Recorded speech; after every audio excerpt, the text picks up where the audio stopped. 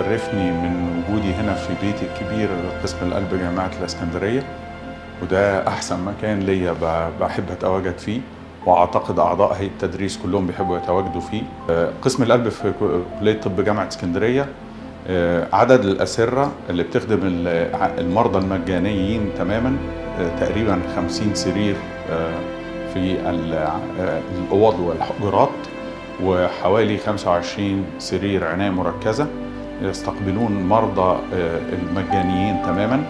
آه، إحنا بنستقبل في العام الحالي استقبلنا آه، حوالي آه، 1200 حالة في العناية المركزة. آه، 670 منهم كانوا يعانون من جلطات حادة في القلب. تم إنقاذ 125 مريض منهم دول مجانيين تماما ودول بتبرعات عن طريق القسطرة وتركيب دعامة آه، وإنقاذ حياة مريض في الحال وتركيب الدعامات. آه، 125 من 670 لأن دي إمكانيات القسم اللي سمحت بهذا ودول كلهم تبرعات. قسم قلب كليه طب اسكندرية أنا بعتبره البيت التاني ليا أنا وزملائي.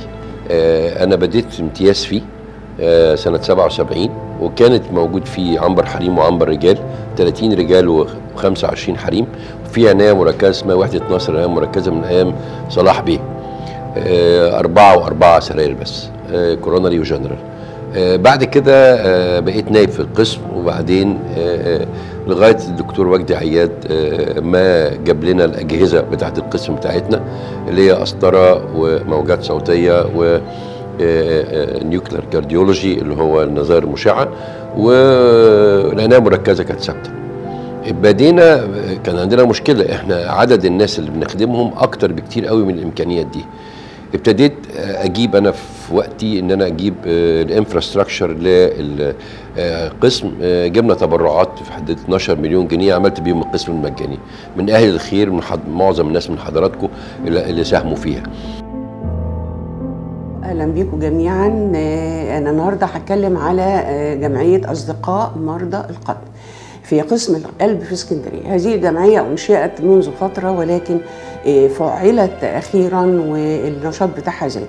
هي آه، الهدف الأساسي منها مساعدة المريض الفقير اللي لا يقدر على آه، المصاريف المطلوبه وإحنا عارفين في القلب في حاجات بتبقى مطلوبة خلال ساعة ساعتين بالكتير.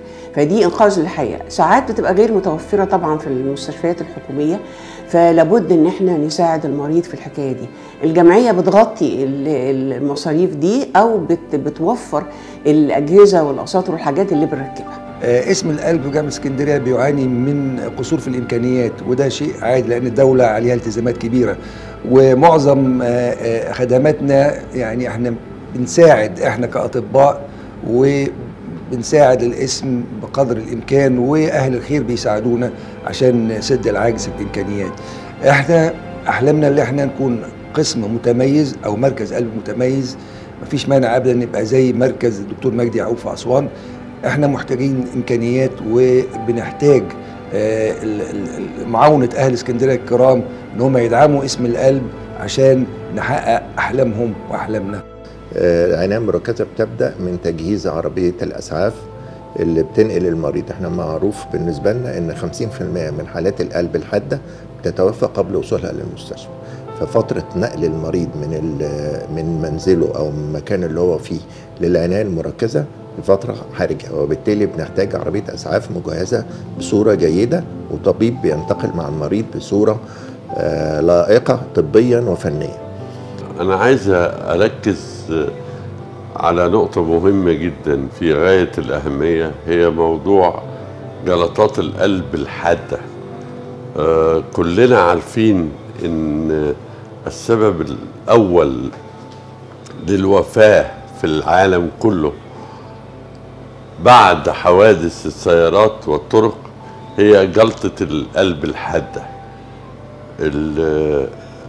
ال- الحكاية دي آه، منتشرة جدا وتؤدي إن لم تعالج في خلال الدقائق الأولى بعد الجلطة بالدخول إلى القسطرة إن لم تعالج بهذه الطريقة تؤدي إلى الوفاة في أكثر من 80% من حالات ال- الجلطة التي لا تسمح ظروفها بدخول القسطرة وبالتالي بيؤدي إلى تدمير عائلات بأكملها لأن للأسف معظم هذه الحالات بتبقى لعائل الأسرة و- وما يترتب عن ذلك من نتائج وخيمة للأسرة كلها. مشكلتنا هنا إن المرضى اللي بتيجي المستشفى الرئيسي الجامعي كلهم مرضى اللي بيضطر يجي هنا هي المرضى الغير قادرين. وزي ما حضراتكم عارفين إن المريض ده لو ما الشريان ما اتفتحش في أول 90 دقيقة فإحنا بنفقد جزء كبير من عضلة القلب. طبعا المجتمع المدني بيساعدنا مساعدة كبيرة بس في أحيانا المستهلكات بتنقص وبنقف عاجزين قدام مرضى كتيرة وخصوصا الناس اللي هي بيبقى سنها صغير وبتبقى العائل الوحيد لأهلها فساعتها بنبقى واقفين متكتفين مش عارفين نتصرف. آه، المسح الذري ببساطة هو عبارة عن جمع كاميرا لتصوير العيان ونظائر مشعة مادة مشعة اسمها ثاليوم أو تكنيشيوم بنحقنها للعيان عشان نصوره ونعرف عنده مشاكل في الشرايين التاجية ولا لا. في خلال السنين اللي فاتت كان عدد الحالات اللي بيت- بيتردد على آه، وحدة ال gamma camera في قسم القلب آه، لا يقل عن ألف حالة في السنة. بنشتغل بمعدل أسبوعي المواد المشعة دي بتجيلنا من بره بنطلبها by request وبنشتغل الحالات بتاعتنا كل أسبوع وبنقرأ كل أسبوع الحالات. بنجمع حوالي يمكن ألف حالة على الأقل في السنة. الألف حالة دول منهم حوالي 50% من التأمين الصحي آه، 30% من الكوميسيون. عندنا هنا عدد من الأجهزة بتخدم المرضى في القسم المجاني آه، آه، سواء في آه، في القسم الداخلي أو في العيادات الخارجية. حقيقي الفحص بيمتد ويشمل المرضى في قسم القلب في وحدات البطنة في في وحدة العلاج الكيمائي لأمراض السرطان. وعندنا هنا أجهزة متعددة الأجهزة ديت مهمة جدا جدا لتشخيص المرضى نمرة واحد.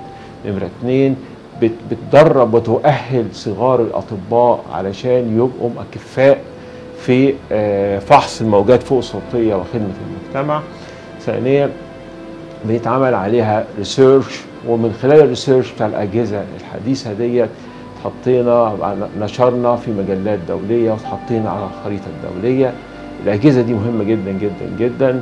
محتاجين من المزيد من الأجهزة محتاجين اعتماد صيانات لهذه الأجهزة حتى تستمر في خدمة المرضى وتأهيل الأطباء وعمل البحوث العلمية اللازمة.